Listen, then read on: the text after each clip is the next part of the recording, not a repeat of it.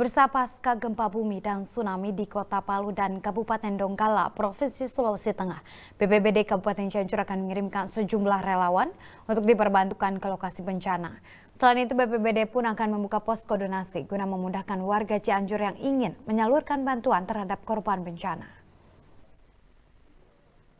Badan Penanggulangan Bencana Daerah Kabupaten Cianjur menggelar rapat khusus Rabu siang. BPBD Kabupaten Cianjur akan mengirimkan sejumlah tim relawan untuk mengevakuasi korban terdampak bencana di Kota Palu dan Kabupaten Donggala, Provinsi Sulawesi Tengah. Pada pengiriman tahap pertama, akan segera diberangkatkan 15 relawan yang sudah terlatih di bidang evakuasi terdampak bencana. Menurut Ketua Tim Relawan, sejumlah relawan siap diberangkatkan menunggu instruksi Pemkap Cianjur. Para relawan terdiri dari dokter, perawat, tagana, dan PMI.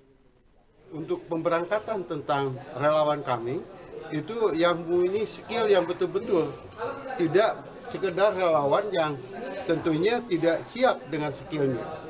Apakah itu di dalam ya, evakuasi, logistik, atau juga mungkin di kesehatan. Karena kami akan mengumpulkan juga teman-teman relawan dari dinas kesehatan, dari dokter maupun perawat, dan teman-teman Tagana, teman-teman PMI, dan ini kami rangkul semua.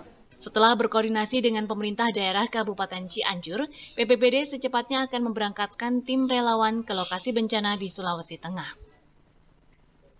Selain itu, guna mempermudah warga yang ingin memberikan bantuan bagi para korban bencana, pihaknya juga akan membuka posko donasi bencana Palu dan Donggala.